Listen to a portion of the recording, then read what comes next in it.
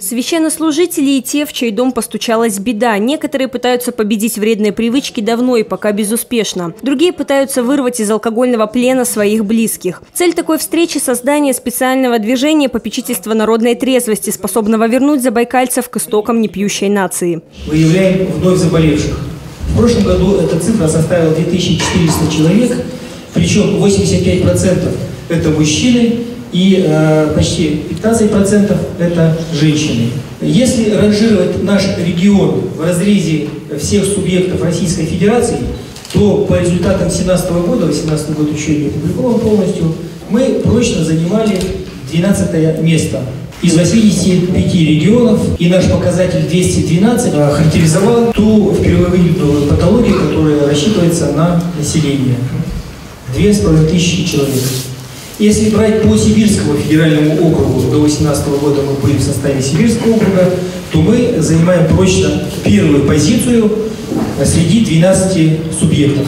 Представители духовенства уверены, совместно с органами власти и специалистами здравоохранения можно выйти на новый уровень профилактики алкоголизма. Хотя, как показывает практика, на лечение недуга уходит не один десяток лет, и главная схватка предстоит прежде всего с самим собой. Примерно в 14 лет я попробовала выпить, но только потому, что я не могла нет сказать компании, в которой находилась.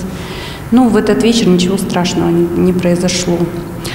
Но перед глазами стояло лицо отца, который очень сильно пил и впоследствии погиб по причине алкоголизма. Вначале стал инвалидом, вот.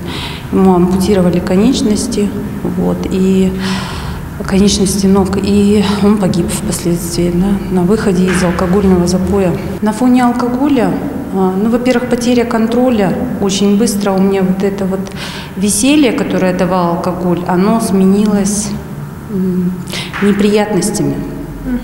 То есть я переставала помнить, что я делала, что я говорила. Некоторые друзья стали отворачиваться от меня, а, не объясняя причины.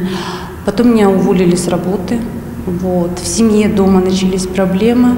А, я напугала своего сына очень сильно, а, потому что когда я выпивала рюмку, я уже не могла остановиться. И это все прогрессировало, становилось все хуже и хуже. И я осталась одна наедине вот с этой проблемой. Сейчас Елена обычная женщина, у нее есть любимая работа, и недавно она снова стала мамой, только прежде пришлось лечиться долгие 14 лет. Сейчас она помогает таким же зависимым, беседует с ними, приводит свою историю в качестве примера. Все можно изменить, главное решиться на это. Юлия Сидельникова, Анастасия Шадрина, ЗАП-ТВ.